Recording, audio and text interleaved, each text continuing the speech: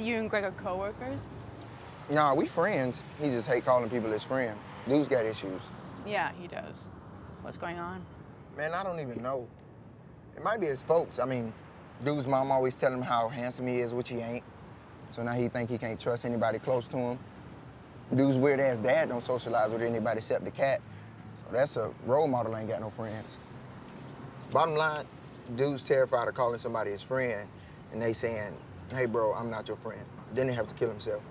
But how are you coworkers? We um we make films. Movies? Yeah. We've been making them for a few years now. We have like 42 in total. Greg, you never told me. Well, we never told anybody about them. They suck. I mean, they're terrible. I'm pretty sure they don't suck. Well, you can see for yourself if you want. You sure? Hell yeah, don't even worry about it.